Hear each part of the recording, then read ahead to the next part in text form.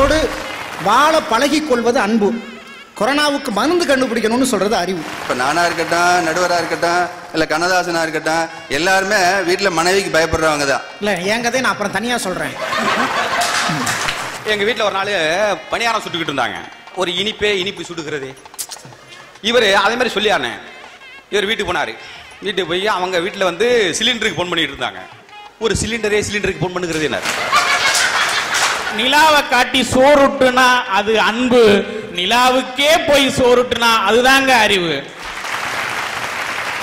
இதீங்கோ இதீங்கோ உங்க மச்சான் வந்திருக்கிற உங்க நங்க வந்திருக்கிறா உன்ற கொழுஞ்சி வந்திருக்கிறா போய் கறி வெட்டிட்டு எங்க அக்கா வந்தா வர காப்பி இவங்க அக்கா கறி வந்தா கறியும் சோறுமு. இது எங்க இங்க இருக்கு? அன்பு. இங்கே இருக்கிற மாதிரி ஆறு அங்கே இல்லை இங்கே இருக்கிற மாதிரி பங்களா அங்கே இல்லை இங்கே இருக்கிற மாதிரி ரோடு அங்கே இல்லை ஆனால் அங்கே இருக்கிற மாதிரி குடும்பம் இங்கே இல்லையா